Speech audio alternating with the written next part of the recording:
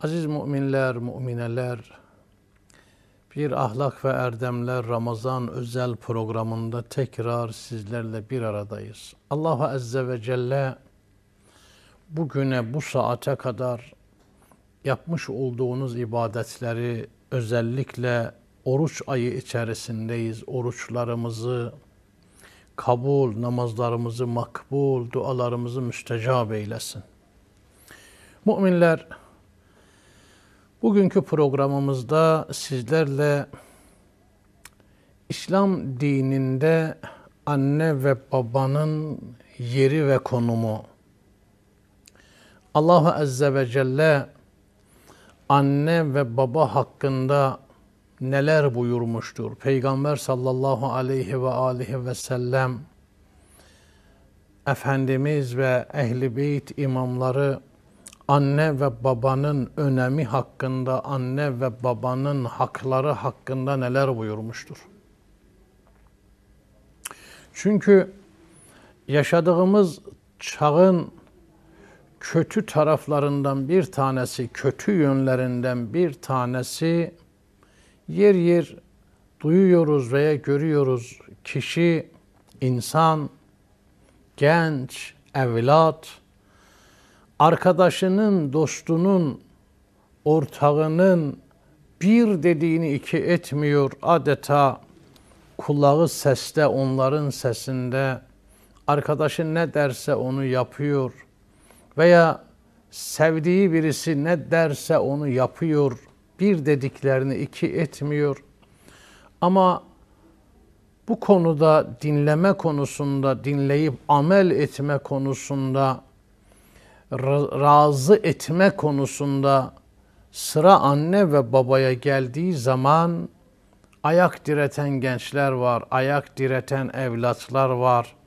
Anneyi babayı tahrip eden, anne babayı kırıp döken, anne babanın gönül dünyalarını harabeye dönüştüren evlatlar var. Peygamber sallallahu aleyhi ve aleyhi ve sellem Efendimiz de kıyametin alametlerinden söz ederken, kıyametin alametlerini buyururken buyurmuşlar ki, kıyametin nişanelerinden bir tanesi o zamanda insan eşinin bir dediğini iki etmeyecek, arkadaşının bir dediğini iki etmeyecek ama anne ve babasına arkasını dönecek. Anne ve babasına itaat etmeyecek. Anne ve babasını dinlemeyecek. İşte bu kıyametin alametlerinden bir tanesidir.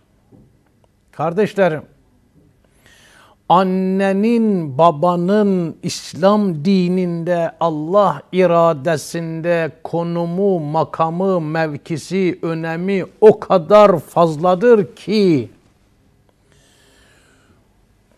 bu programımız anne ve babanın önemini anlatmaya zaman olarak yetmez. Saatler değil haftalarca konuşsak anne ve babanın razı olmasının evlat üzerindeki olumlu etkileri nelerdir?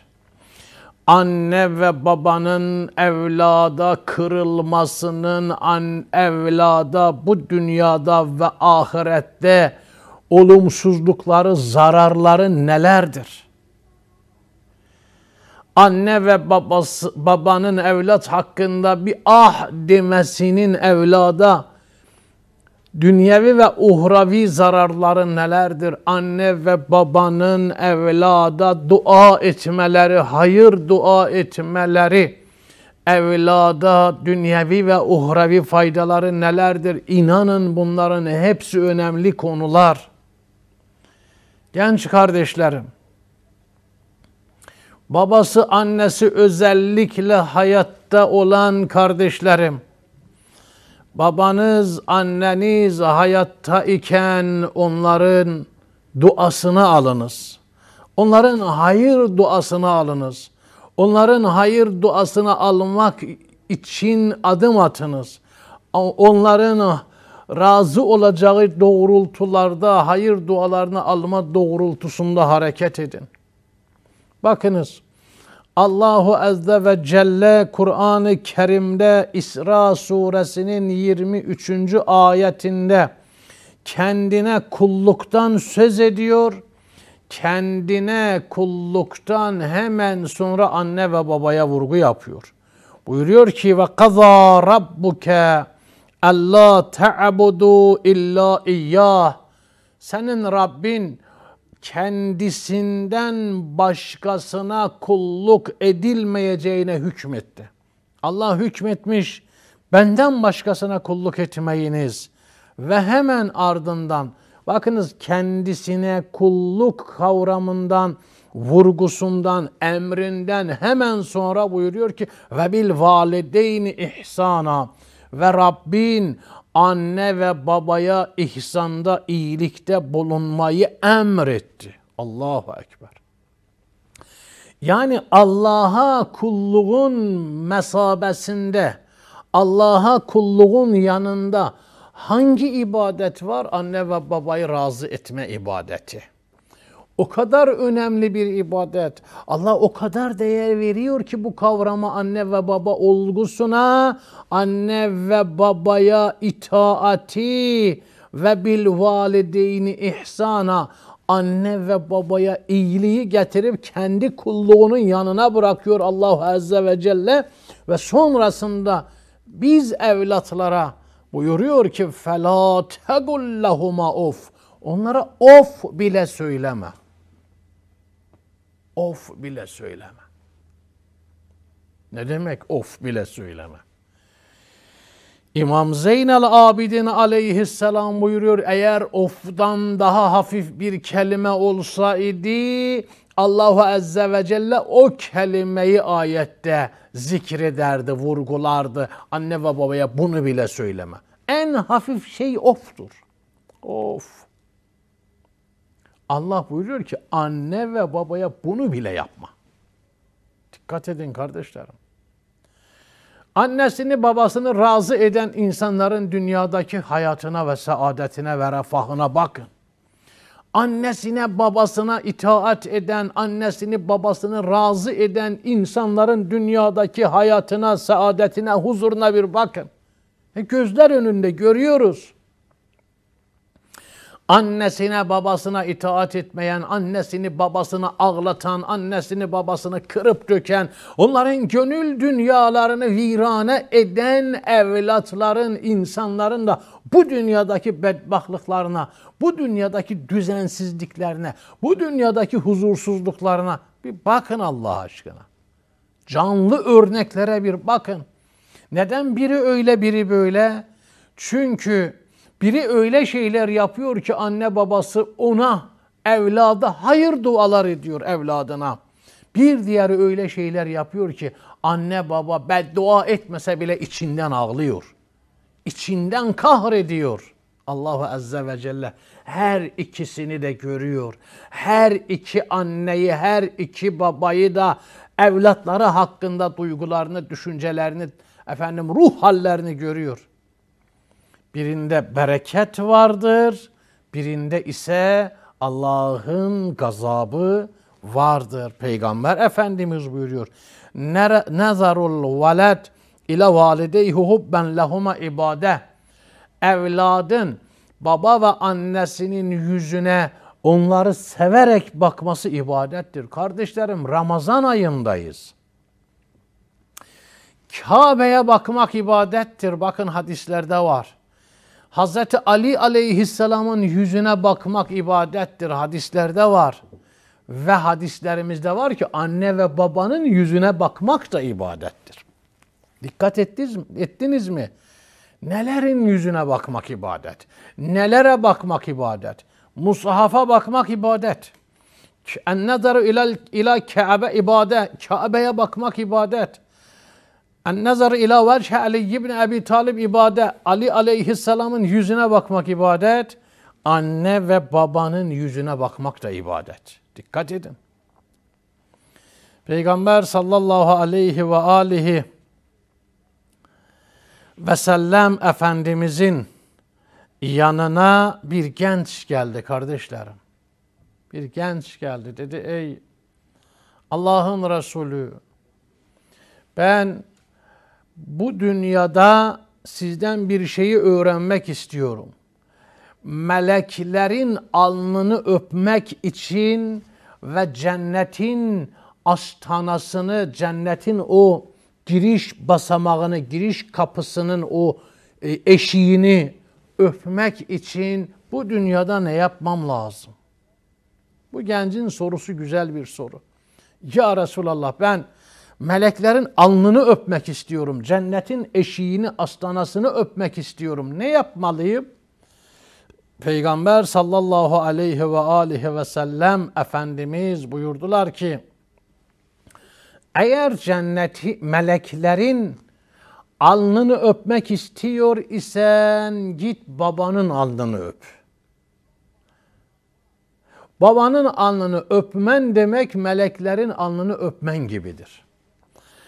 Eğer cennet kapısının astanasını, eşiğini öpmek istiyor isen git annenin ayağını öp. Allah Resulü Efendimiz buyurdu. Men kabbele ricley ummihi fekeennema kabbele etebetel ke'be. Bir insan annesinin ayaklarını öper ise Kabe'nin eşiğini yani Kabe'nin kapısının astanasını öpmüş gibidir. Müminler dünyada bereket mi istiyoruz? Anne ve babanın duasını alın. Saadet, huzur mu istiyorsun? Anne ve baba, babanın hayır duasını alın. Günahlarının affını mı istiyorsun? Anne ve babanın hayır duasını alın. Anne ve babadan dua isteyin. İmam Zeynel Abidin aleyhisselam buyuruyor.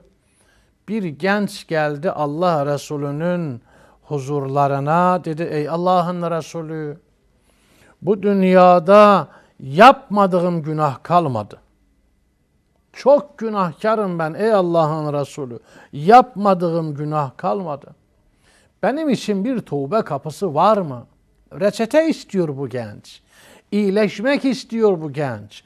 Tedavi olmak istiyor, temizlenmek istiyor bu genç ve doktoruna gelmiş. Canlar İslam'da çıkmaz sokak yoktur. Günahkar için çıkmaz sokak yoktur. Ümitsizlik kapısı yoktur. Ümitsizlik kapıları kapanmıştır İslam'da. Kapılar açık. Bu genç Allah Resulüne bu derdinden dolayı geldi. Peygamber sallallahu aleyhi ve aleyhi ve sellem Efendimiz buna buyurdular ki gence senin baban ve annen hayattalar mı? Dedi ey Allah'ın Resulü hayır. Sadece benim babam hayattadır. Annem ise vefat etmiştir. Allah Resulü buyurdular ki öyleyse günahlarının affedilmesi için affedilmesini istiyor isen git babana iyilik yap. Git babana iyilik yap. Genç arkasını döndü gitti. Gittikten sonra Peygamber sallallahu aleyhi ve aleyhi ve sellem Efendimiz buyurdular ki bu gencin keşke annesi hayatta olsaydı. Dikkat edin. Annenin evlat yanındaki konum ve makamına. Keşke annesi hayatta olsa idi. Allah Resulü Efendimiz buyuruyor. Duaul valid li veledihi ke duain nebi li ummetihi. Anne ve babanın evlat hakkındaki duası peygamberin ümmeti hakkındaki duası gibidir. Ve peygamber Efendimiz buyuruyor.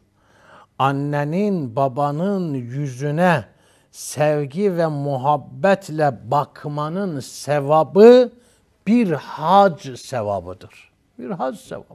Bir kere dön, muhabbetle anne babanın yüzüne bak. Kardeşlerim acıyalım kendimize. Ahiretimizin hesabını yapalım. Bu mübarek Ramazan ayı fırsat ayıdır. Onların gönüllerine okşayalım. Anne babanın gönlüne okşayalım anne babanın kalbine okşayalım.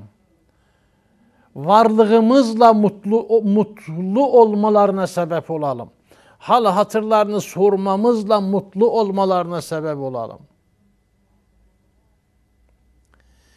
Bir babanın üç evladı yetiş büyütmesi, beş evladı büyütmesi, bir annenin yedi evladı büyütmesi, dokuz evladı büyütmesi, yaşlandıkları zaman dört duvarın arasında yalnızlığa mahkum edilmesine Allah gazap eder. Bir baba anne üç kişiye baksın, yıllarca büyütsün, beş kişiye baksın, evladımdır diye.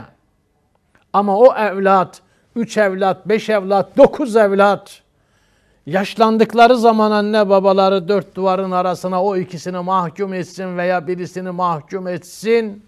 Allah gazap eder bu duruma. Allah razı gelmez bu durumdan. Onların gönlü hele bir incinirse insanın dünyası alt üst olur. Ayetullah Necafi Mer'eşi'ye sual ettiler. Üstad bu kadar müesseseler yaptın, bu kadar öğrenciler yetiştirdin, bu kadar eserler yazdın. Bereketli bir nefesin var, bereketli bir kalemin var, bereketli bir elin var. Neye eline attıysansa hayırlı oldu, hayırlı çıktı ve öyle bir kütüphane yapmışsın ki dünyada eşi benzeri olmayan bir kütüphane Ayetullah Necafi Mer'aşi'ye öğrencileri sordu. Bu muvaffakiyetin, bu başarının sırrı nedir? Dedi ki bu muvaffakiyetin, bu başarının sırrı babamın benim hakkımda yaptığı bir dua. Allahu Ekber. Babamın hakkımdaki bir duası. Nasıl yani?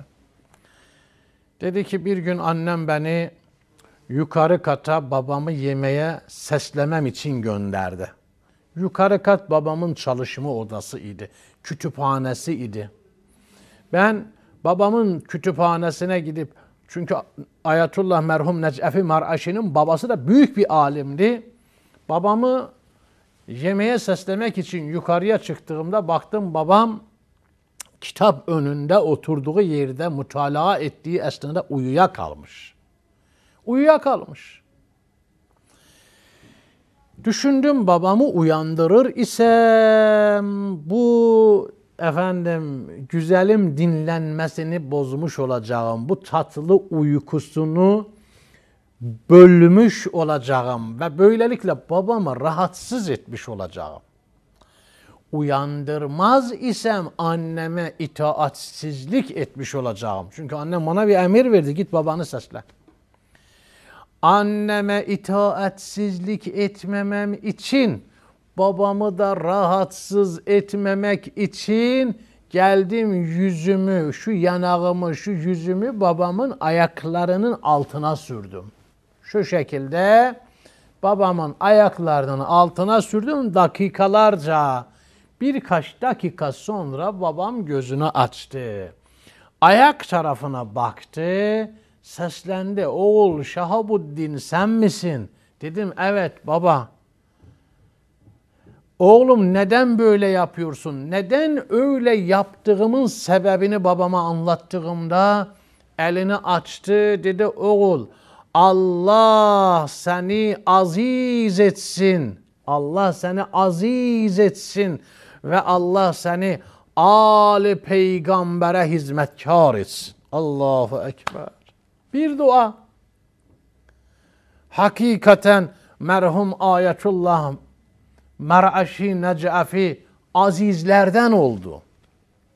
Hakikaten peygamber Ali peygamberin hadimlerinden, hizmetkarlarından oldu. Ne demektir bu hadim, hizmetkar biliyor musunuz? İnanın ehline, inanın bilene, inanın basiret ehline, inanın derk edebilene dünyanın en en en yüce makamıdır Ali peygambere hizmetkar olmak. Onun üstünde bir makam yoktur. Eğer bir insan malıyla, bir insan canıyla, bir insan nefesiyle, bir insan kalemiyle, peygamber ali peygambere hizmetçi ise, hizmetkar ise Bunun üstünde dünyada makam yoktur. Eğer onun üstünde bir makam olsaydı merhum Ayetullah Necafi Maraşi'nin babası evladına onu isterdi.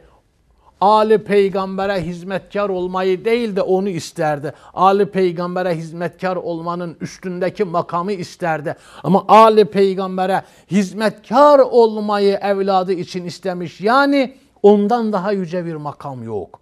Ondan daha yüce bir mevki yok. Aziz kardeşlerim dolayısıyla mübarek Ramazan ayında anne ve babalarımızı babalarımızdan gaflet etmeyelim anne ve babalarımızı unutmayalım. Peygamber sallallahu aleyhi ve aleyhi ve sellem Efendimiz buyurdular. Bir gece anne ve babanın babasının yanında sıcak bir şekilde kalmak Allah yolunda bir senelik cihad etmekten daha hayırlıdır. Allahu Azze ve Celle bizleri anne ve babasından gaflet edenlerden etmesin. Özellikle bu ayda onların rızasını